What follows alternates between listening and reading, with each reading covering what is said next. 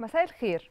مساء الخير والهنا والسعادة والجمال. مساء كل حاجة حلوة عليكم وأهلا بيكم وحلقة جديدة في برنامجكم صالون رودي. النهاردة هنتكلم معاكم عن موضوع مهم جدا وعن أبرز المشاكل اللي بتكون في مجتمعنا ما بين الرجل والمرأة. آه، هنتكلم النهاردة عن الرجل المتسلط. وقد إيه الراجل المتسلط بيكون يعني من يعني بيسبب لنفسه مشاكل كتيرة جدا بين جميع أطراف المجتمع اللي بيتعامل معاهم. طبعا ما بين زوجته ما بين أصدقائه ما بين آه، أولاده ما بين آه، رئيسه في العمل. أيا كان يعني الناس اللي بيتعامل معاهم آه، في حياته كلها. طيب إحنا عايزين نعرف طبعا المشاكل اللي بتواجهه ما بينه وما بين زوجته. في إن هو بيكون متسلط كمان عليها آه، في آه، اختيارها للبسها آه، اختيارها لأكلها كمان. طبعا يعني حاجات كتيرة جدا بيبتدي يتسلط عليها لدرجه إن بتؤدي لمشكلة كبيرة جدا جدا جدا. بتؤدي للست إن هي بتضطر تكذب عليه وتضطر إن هي تتصرف ومن وراه في جميع أمور حياتها من غير ما تشاركوا فيها. وطبعا دي مشكلة كبيرة النهارده محتاجين نتناقش فيها عشان نحلها طبعا مع بعض ونشوف هي أساسها إيه. آه مع آه ضيفنا اللي هنتعرف بيه بس الأول نشوف مطبخنا. آه النهارده آه مفاجأة كده آه في المطبخ بتاعنا وعايزين نقول إني يعني هي أصغر آه، شيف في مصر موجودة معايا النهارده أنا مبسوطة بيها ومنبهرة بيها حقيقي وبسنها. ورغم إن صغر سنها إلا إنها عاشقة للمطبخ خلينا بقى نشوف النهارده آه، معانا شيفتنا الصغيرة سما محمود. خلينا نرحب بيها. ازيك يا سما؟ الحمد لله كويس. عاملة إيه؟ الحمد لله. قولي لنا بقى يا سما انت عندك كام سنة؟ عندي 11 سنة. ما شاء الله. طيب قولي لي يا سما انت بتحبي المطبخ؟ أه بحبه من زمان. طيب ابتديتي بقى في الموضوع من إمتى؟ أنا ابتديت من سنتين. طيب ما شاء الله. طيب قولي لنا بقى يا سما هتقدمي لنا إيه النهارده؟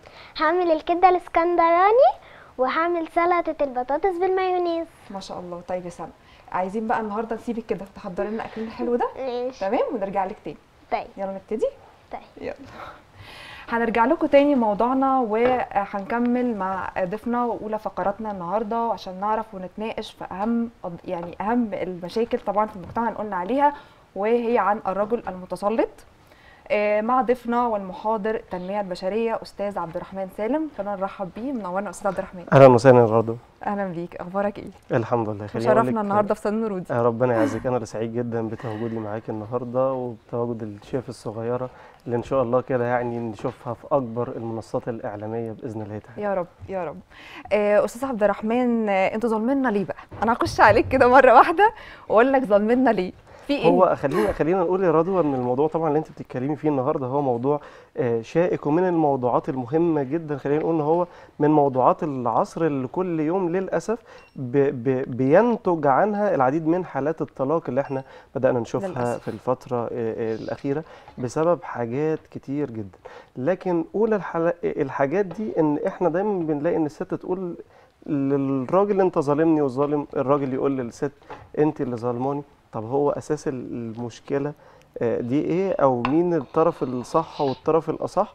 ده اللي إحنا عايزين النهارده إن شاء الله نبتدي إن إحنا نوعي الناس بيه ونعرف الناس بيه. مفيش إنسان كامل لكن بيكون في سقطات وثغرات كلنا بنقع فيها أكيد. سواء إحنا آه، كجانب الرجال أو منكم كجانب النساء. يعني برضو أنا همثل الرجالة النهارده برضو وانت مشكلة. آه تمثلي النساء. مش هننكر ده برضو. أكيد طبعا أكيد زي ما في رجالة متسلطين في ستات متسلطة.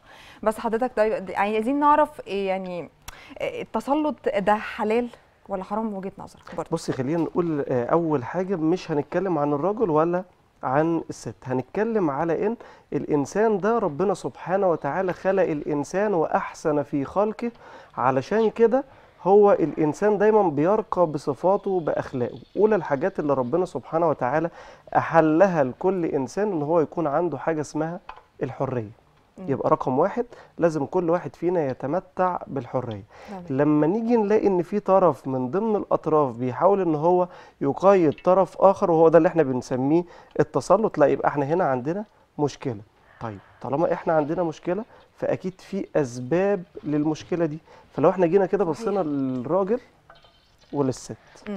الراجل ليه بيتسلط هنلاقي دايما إن الراجل اللي بيتسلط هو رجل غير كامل. دايما حاسس بالنقص حاسس إن هو مهمش حاسس إن هو لا يلقى الاهتمام الكامل من كل الناس اللي حواليه. فعلشان كده بيبتدي يعوض هذا النقص بإن هو يتسلط على غيره أو يحاول إن هو يفرض شخصيته أو يبين إن شخصيته قوية. أكيد. طب تعالى للطرف التاني بقى. بس ده غلط دايماً- يعني هو يعني هو إحنا إحنا بنتفق إن ده غلط وإن ده طبعاً. سبب رئيس من الأسباب اللي بتؤدي لتسلط. الرجل. طيب السبب التاني بقى أو الجانب التاني جانب المرأة هنلاقي إن في كتير جدا من السيدات التي تعشق الزواج من ضعاف الشخصية مم. الرجل الأول المتسلط ده إحنا قلنا إن هو رجل إيه ضعيف يعني الشخصية. التسلط بيرجع إلى ضعف الشخصية يعني مفيش. راجل متسلط إلا إذا كان ضعيف ومفيش ست برضو متسلطة إلا إذا كانت هي حاسة آه، بإنها ناقصة أو بضعف في شخصيتها ده نتيجة لإيه؟ إن إحنا ممكن نلاقي إن المرأة أو الست دي هي ناقصة الأنوثة فمش شايفة إنها جميلة مم. مش شايفة إنها تلقى القبول الكافي آه، عند الطرف التاني تمام. فبالتالي بتحاول دايما باستمرار إن هي تتصايد له العديد من الأمور والثغرات علشان تحسس طب الراجل هنا دور الراجل بقى يعني أستاذ الكاملة. عبد الرحمن دور الراجل. يعني أنا شايفة إن دور الراجل إن هو يهتم بالست إن هو يديها الاهتمام الكافي اللي ما يخليهاش تتسلط وما يخليهاش توصل للمرحلة دي معاه. طبعا خلينا هنا نقول حاجة إن دايما بنقول إيه في مقولة كده دايما بيقول لك إيه الست نكدية والراجل خاين. هو ده طبعا اللي إحنا بنقوله. أي حد في مصر دلوقتي يقول لك لا أصل كل الستات خاينة كل الستات نكدية؟ نكدية وكل الرجالة آه. خاينين لا يا جماعة هي المسألة كلها مش كده إحنا اتبرمجنا. غلط مم. الست مش نكدية والراجل مش خاين لكن تعالي بقى نكمل ده بأسلوب فعلا يرقى لحلول واقعية طيب. الست دايما آه، بتنشغل بكل احتياجات ال- البيت فبتخلي آخر حاجة تهتم بيها جمالها الشخصي أو. ظهورها عند زوجها تلاقي انها بتتجمل لكل الناس عشان تشوفها جميلة وبتنسى تتجمل للشخص المفترض الأساسي هو شريكها في العلاقة ال- اللي موجود معاها كل يوم اللي هو مين؟ اللي هو الزوج. تمام. طيب الراجل من كتر ضغوط الحياة وسعيه المتواصل إن هو يوفر للأسرة كلها حياة كريمة بيطغى عليه العديد من الضغوط. تمام. أول ما يوصل البيت تبتدي الست في طلباتها فيحصل الصدام اللي إحنا بنقول عليه. فيبتدي الراجل ينعكس ويبص بره. آه. مش طيب الانعكاس ده خليني بس ما هنا أكمل بس الحتة دي. الانعكاس هنا يا رضوى. مننا النهارده. ال- الانعكاس هنا مش معنى كده علشان الست وحشة. آه. لا ممكن الراجل هنا مش لاقي الاهتمام آه، المطلوب. تمام. نعدل ده إزاي؟ لما الزوج يجي البيت لازم يكون أحد أولويات زوجته إن هي تحاول تخفف عنه عبء البيت وبعدها اطلبي بقى اللي أنت عايزاه براحتك. ده حقيقي أنا معاك في كل ده. الرجل برضو كالطفل الراجل برضو محتاج ترويض تمام كل حاجة في الدنيا محتاجة طاقة. اللمبة أكيد عشان تشتغل محتاجة طاقة عشان تنور. مش. معقول هتنور من نفسها محتاجة كهرباء. فإحنا كبني آدمين برضو محتاجين طاقة. صحيح. تمام؟ فزي ما الراجل محتاج ده الست محتاجة ده. هي برضو بتلاقي في بيتها ضغوط وبتلاقي تربية أولاد وبتلاقي وبتلاقي وبتلاقي. لو لقيت من الزوج اهتمام هتبتدي تهتم. تمام ولا إيه؟ متفق معاكي جدا. فاحنا بلاش نظلم الجانب ما برضو إحنا يعني إحنا كده اتكلمنا عن آه. جانب الست لسه أنا هدخل أهو في جانب آه، الراجل نو آه، باستمرار بنقول إن السعادة تأتي من الداخل تمام. إلى الخارج. يعني لازم تسعد نفسك الأول علشان تقدر تسعد الناس اللي حواليك. طيب. طب الزوج خلينا نقول إن في زوجات كتير جدا في بيوتنا المصرية بيكون عليها عبء وعليها لود كبير جدا من طلبات بقى البيت ل... ل... لتنظيف البيت لطلبات الأولاد حاجات كتير جدا جدا جدا. هنستأذنك أستاذ عبد الرحمن معلش نقطع كلامك هنرجع نكمله تاني بس فاصل قصير قصير جدا جدا وهنرجع لكم تاني. استنوا. أهلا بيكم مرة تانية ورجعنا لكم بعد الفاصل ومكملين مع مشكلة الرجل المتسلط مع المحاضر آه، الأستاذ عبد الرحمن سالم. واهلا بيك أستاذ عبد الرحمن مرة أهلا وسهلا. منورنا منور. هنكمل كلامنا اللي قلناه كنا معانا قبل الفاصل. محتاجين. بقى نكمله إن شاء الله مع بعض. كنت بتتكلمي على إن المرأة بتحتاج أو الزوجة عموما بتحتاج بتحتاج- الاهتمام. آه. ده شيء إحنا متفقين عليه جدا وإحنا بنقول لكل الأزواج آه، إن زي ما الست بيبقى عليها لود وإنت عليك لود إحنا بنحاول إحنا الاتنين نوفق في العلاقة إن إحنا نلطف علاقتنا ببعض. بمعنى إيه؟ إن إن إحنا بنقول للزوجة مش أول ما الزوج يجي كده في البيت تبتدي بالمشاكل بقى الخاصة بالأولاد واحتياجات البيت لا هو بيبقى راجع محتاج شوية هدنة. اختيار الوقت المناسب بالظبط. مم. طيب بالنسبة بقى للزوج إحنا أبسط حاجة يعني رسولنا الكريم قال إيه؟ قال. الكلمة الكلمة الطيبة صدق. طب ده الكلمة الطيبة دي بقى بن- بنقول ده قولها للناس الغريبة طب ما بالك بقى أهل بيتك؟ تمام. فدايما كلام شامل للكل. بالظبط. أه. إحنا بنقول إيه؟ إن الزوج طفل يحتاج الترويض يعني. محتاج هو الاهتمام. فعلا دي برضو مم. الست مهما كانت متضايقة هي ممكن بكلمة بسيطة خالص تقدر إن أنت تسيطر عليها وتقدر إن أنت. تخرج كل كل الشعور تمام. السلبي اللي جواها. فبنقول للزوج أبسط حاجة كلمة طيبة. دايما ابتدي إن أنت حسسها دايما لازم الزوج يحد يحسس الزوجة بتاعته إنها أحسن إنسانة في الدنيا يبادلها دايما بعبارات سعيدة علشان يقدر إن هو يقضي على كل الضغوط.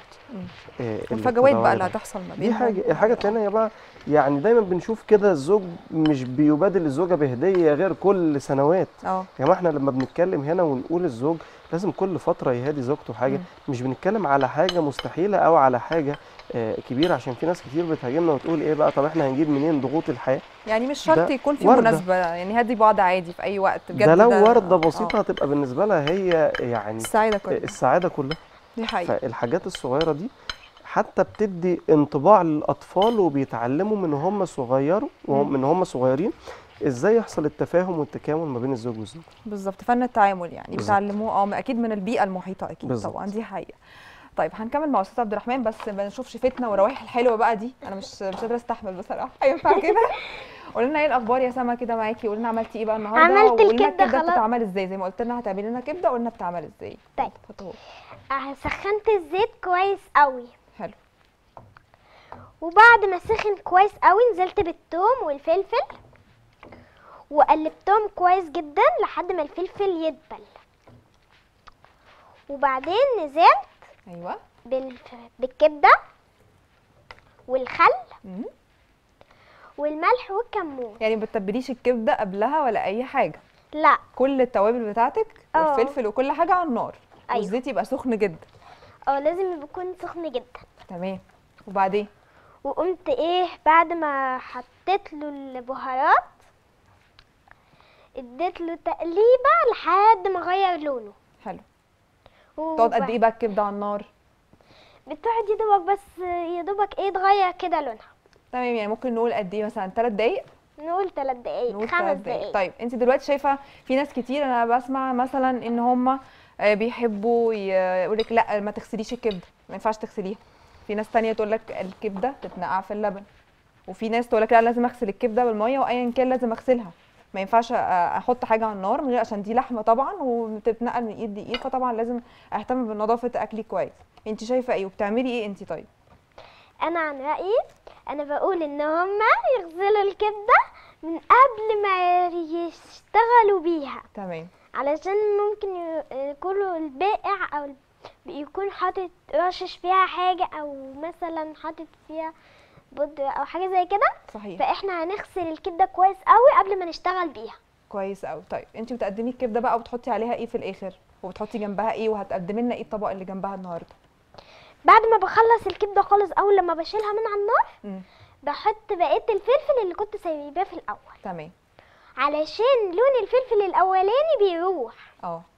فلون الفلفل التاني الأخير اللي انت بتزوديه في آه. الآخر؟ انت بتزودي بي- في الفلفل في الآخر. آه. على علشان يخلي لون لون الفلفل يبقى في الكبدة. تمام آه. وهن... وعملت جنبها سلطة البطاطس بالمايونيز. سلطة البطاطس. طب خلينا كده نسأل أستاذ عبد الرحمن سؤال.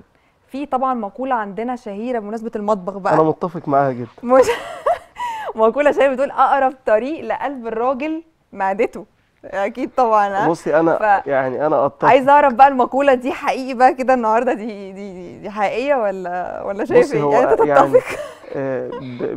ان جنرال مش هتكلم لكن آه. أنا بتكلم عليا أنا شخصيا. آه أنا أقرب يعني ممكن ممكن. الست تكسب تكسب قلبك ب- بأكلة. جدا برغيف حواوشي. لا بس لازم نتكلم على العام. في العام بقى. بصي هو يعني أنا هتكسب قلبك بالكبدة النهارده. آه طبعا طبعا. آه، أنا عايز أقول لك يا رضوى ان إن آه، هي خلينا نقول إن أحد الأشياء اللي بتسعد الرجل. آه، هو الأكل ال- طب والله. ليه الاكل طيب. لأن ال- الست لما بتعمل الأكل بحب وبتعمله كده وبتهتم بيه ودايما تكون مهتمة آه، الراجل نفسه بيحب إيه بيكره إيه هو ده بينعكس في الآخر على جانب من جوانب الاهتمامات اللي الراجل عايزها يعني أنا دايما باستمرار ببقى محتاج إن أنا في أكل معين أنا بحبه مم. فمحتاج باستمرار إن أنا أشوف الأكل ده قدامي على طول هو ده الأكل اللي أنا مم. اللي أنا باكله وطبعا يعني الشيف النهارده بقى بتبدع جايبه لنا اسكندرية لحد آه. عندنا يا جماعة آه هي بتكافئني خلاص. ومش جايبه لنا كلنا ها بتجيب لنا اسكندرية قلب اسكندرية كبدة الإسكندراني يعني. آه يعني بالطريقة بقى الجميله أنا مبسوطة بيكي جدا يا سما والله حقيقي أنا منبهرة ها قولي لنا بقى انت قلت لنا كام سنة 11 ما سنة شاء الله. وشاطرة بقى في المدرسة كده زي ما شاطرة في المطبخ آه أنا شاطرة في المدرسة. وبتعرفي تعملي أكلات تانية غير الكبدة آه، وغير السلطه بعمل كل النهارده حاجة. وكل حاجة. صح؟ بتعملي كل بعمل حاجة؟ كل حاجة. لا ده إحنا لازم نجيبك معانا تاني بقى عشان تورينا الحاجات الحلوة بتاعتك دي. ما ينفعش نسيبها خلاص بقى. خليني بقى هنا انتهز الفرصة يا رضوى معلش آه، عايز أقول حاجة. آه. ودي من ضمن الحاجات يمكن اللي أنا اتربيت عليها وشفتها في بيتنا وابتديت كمان إن أنا آه أشوفها أو أنشرها في بيوت كتير جدا من آه بيوت اصدقائنا آه أنا أنا في بيتي لو اتكلمت عن والدي ووالدتي فكل واحد في البيت ليه اهتمام معين في جانب الأكل. والله آه. يعينها والدتي يعني تتعب كتير ربنا يديها جدا الصحه وربنا يخلينا أمهاتنا كلنا بجد ال- والله. اللي بتعملها. آه، لكن حاجة إحنا متعودين عليها إن إحنا في بيتنا كلنا كل واحد بيحب الحاجة اللي هو عايز ياكلها بتتعمل له مش كده وبس. كل حد آه، آه، فينا مش بياكل حاجة من غير التاني. آه. يعني لك أن تتخيلي إن أنا لو سافرت وقت كبير جدا برجع ألاقي كل الأكل بتاع الأسبوع متواجد في البيت الموضوع مش بيبقى مرهق اصناف. يعني ده أنت بص ترجع بعد الأجازة دي أكيد خلاص عايز تدوق حاجة آه بالظبط عايز أقول لك هي الاسقاطه هنا من الموقف ده أو الشاهد من الموقف آه، ده أيوه. إن إحنا بنقول إيه إن الاهتمام لما بيجي من الزوج والزوجة وبيحصل. التكامل ده بينعكس على الأبناء فلما بيكبروا بيبتدوا إن هم يرثوا ويورثوا العادات اللي هم اتربوا عليها تمام فدايما لازم نقول للزوج والزوجة أنتم مرآة أطفالكم مم. ابتدوا إن أنتوا دايما خلوا التفاهم هو الشيء الأساسي علشان يطلع عندنا جيل من آه، آه، الناس المتفهمة الواعية مش طب بقى ولا إيه؟ شفتنا بقى طب آه يلا بينا نجيب الطبق وندوق كده وتقول لنا برده كده وانتي بتجيبي الطبق. إن أقول الطبق طريقة السلطة. السلطة؟ امم أنا جبت ال- ما- جبت أول حاجة الخيار مخلل حلو. وحطيته في الطبق بتاعي اللي هشتغل فيه. وقمت جبت الفلفل الأسمر والسكر والملح تمام. والخل مم. وال والمايونيز أربع معالق. قلبوا كل يعني ال dressing ده كله بيتقلب مايونيز. مع بعضه في آه. طبق تمام؟ ومعلقتين من الزبادي كبار معلقتين كبار زبادي. وقمت قلبتهم مع البطاطس. تكوني سلقه البطاطس؟ مش آه. سلقاها قوي ولا بتسلقي ولا إيه؟ ولا بتسلقيها لا قوي؟ بقى؟ بتتسلق يعني يا دوبك أنا مش عايزاها تتهري قوي. صح كده مظبوط تمام. وبتقطعيها مكعبات. آه بقطعها مكعبات. تمام. بعد كده بقلب البطاطس في الخليط اللي عملته كويس قوي عشان كلها تشرب الخليط. تمام. تتساب قبل الأكل بقى بم- بمدة ولا ممكن تتعمل على طول ساعة الأكل وتتقدم؟ الأفضل هي إيه؟ المفروض يعني تتعمل قبل الأكل بساعة وتتحط في التلاجة. تمام عشان تدينا طعم التست. كويس صح كده؟ أيوه. تمام يا سما طيب. إيه رأيك بقى نيجي هنا نشارك آه، أستاذ عبد. الرحمن كده معانا؟ عشان أنا المكان فاضي جنبي. أقرب طريق لقلبه الأكل. ماشي. عايزين نجيب الأكل هنا كده على مهلي واحدة واحدة. بصي ممكن تسيبي طبق وتيجي بطبق وبعد كده نيجي ناخد التاني. لا يا شطور. آه معانا مداخلة تليفونية. آه في حد عايز يكلم الشيف سما؟ السلام عليكم. تعالي بقى جنبي هنا عشان تكلمينا عن ال... آه وكمان عشان خاطر آه، في حد عايز يكلمك. مين معانا؟ ألو؟ أيوه. أنا حضرتك عمتها. ألو؟ ألو؟ أيوه. ألو أيوه مين؟ أنا عمتها أتشرف بيكي؟ أنا عمتي ابتسامه آه معلش أتشرف بالاسم؟ ولاء. ولاء إزيك يا ولاء؟ الحمد لله. أخبارك إيه؟ منورانا الحمد لله. وسام منورانا النهارده وأنا بصراحة مبسوطة جدا بيها يعني بصراحة يعني. أبهرتني. ألو. أنت وطي صوت التلفزيون شوية عشان تسمعيني بس كويس. آه شكرا على الاتصال حاولي تتصلي بينا تاني. خط قطع. آه خلينا بقى ندوق كده. في معلقة أو اي حاجة؟ أو لحد ما أستاذ عبد الرحمن يج- يعني يجاوبنا على سؤال مهم. ليه ممكن الست تقبل براجل متسلط يعني ليه؟ بصي ما هو هو ده ال- الجزئية اللي أنا اللي اللي أنا أشرت ليها في في كلامي برضو. إن ليه الست تقبل براجل متسلط هو هنلاقي هنا إن إن الست اللي هتقبل براجل متسلط هي ست آه، يعني تشعر بنقص في الأنوثة بتاعتها.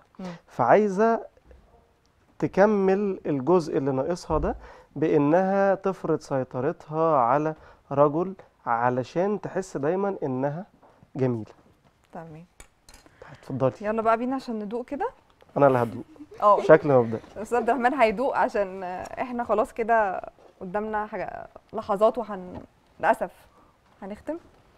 لا بصوا بقى بشكل مبدئي. الأكل تحفة جدا. آه تسلم إيدك. والطبق ده أنا هروح بيه محدش في ناس هياكل كتير. بتحقد علينا النهارده عشان هناكل من إيد سما اسمحوا لي بقى أنا أنا أنا بقى أكل سما آه عايز أقول لك الأكل تحفة جدا. أنا بقول ربنا يبارك في الأسرة بتاعتها. آه اللي إحنا شايفينه النهارده ده هو نتاج لأسرة أكيد آه الزوجة بتهتم آه آه اللي هي والدة سما بتهتم جدا ببيتها. عشان كده قدرت إنها تغرس جزء آه آه هي بتحبه في اولادها يعني أنا أثق تماما إن أكيد والدتها بتحب المطبخ. متشكرين جدا ليكوا شرفتوني شرفتيني يا سما ومبسوطة جدا بوجودك. وإن شاء الله بإذن الله تكوني ضيفتنا تاني. متشكرين ليك أستاذ عبد الرحمن محاضر التنمية شكراً. البشرية. استفدنا جدا النهارده آه، بحلقتنا بصراحة. وأنا زعلانة إن فقراتنا خلصت والحلقة خلصت. أتمنى يكون كل حد النهارده شافنا استفاد. وأكيد دي مش هتبقى أول وآخر حلقة. استنونا في حلقات كتيرة جاية وموضوعات كتيرة مهمة إن شاء الله موجودة في صالون رودي. وطبعا أنا بشكر كل crew العمل وبشكر الناس طبعا ال styling النهارده شعر وميك اب وكل حاجة. بجد شكرا ليكم جدا. وبجد إن شاء الله في حلقة جديدة أشوفكم على خير و bye باي